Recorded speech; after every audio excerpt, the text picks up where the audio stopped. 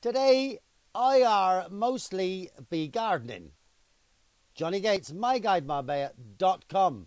And today I'm going to give you a few tips to growing your own vegetables at home during this uh, issue we have with staying in. Now, what's the first thing you reach for when you go and cook a meal? It's the onion, ladies and gentlemen. Now, growing onions at home is a doddle. You take your onion, this is before you make your spaghetti bolognese, of course. You take the bottom off, and this bottom part here you put in a saucer of water for a couple of days. These little roots will start to grow, and you literally just press it into some soil, and hey presto, you've got onions growing. The same goes for garlic, leeks. Now, leeks, you can cut the bottom of a leek off. My leek. About an inch off the bottom of the leek. Stick that in straight into earth, water it well, and within days you'll see that leek growing up. Now, you don't need a big garden if you want to grow your own vegetables. You can grow one on your windowsill in your kitchen if you live in an apartment.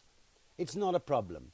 You say you don't have any seeds or any earth. Well, Herr Aldi and Herr Lidl all sell seeds and earth and pots. You don't need a pot actually. If you can get a bin bag, you can fill that with earth and, and make like a dim sum shape and you can put your seeds in that.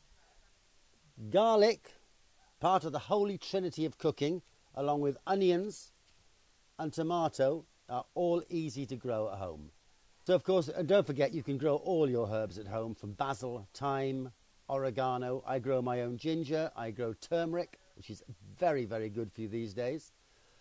So, those are a few tips. So, stay home, stay safe, and don't forget to stay sane.